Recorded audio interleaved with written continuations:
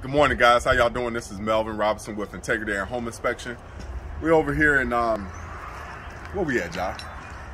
Pittsburgh community. Yeah, Pittsburgh. So we uh, trying to do an inspection, but we actually saw this uh, this renovation going on, and you know, just being curious, we was like, well, let's kind of look at it. So the first thing we noticed is they're pouring a foundation, but they didn't uh, square it up. So everything starts from your foundation, and if you don't get a good straight foundation, then you start having issues. And this is a big issue.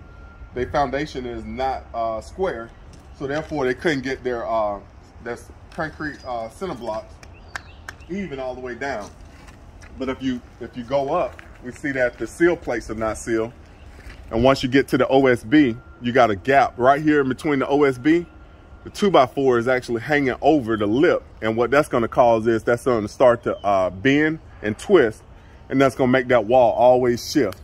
And if we look straight down this OSB going down this way, we can see where the, the OSB is separating and it starts to lift up. So that's gonna cause squeaking floors in a new construction build. So it right when you get ready to move in, the floors are just never gonna stay stay down. So they should have used uh, proper nails to uh, secure that.